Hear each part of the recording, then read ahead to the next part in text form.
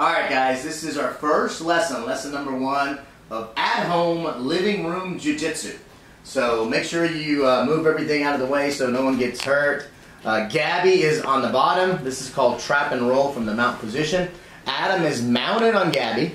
So the first thing Gabby's going to do is she's going to grab hold of his lapel or his shirt or whatever he has and lift her hips up high, forcing his hands on the ground.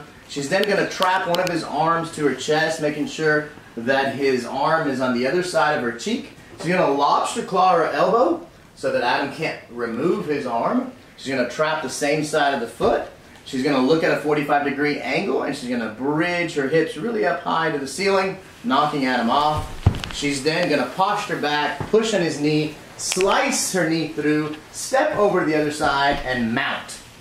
And there you have it. This is the standard trap and roll.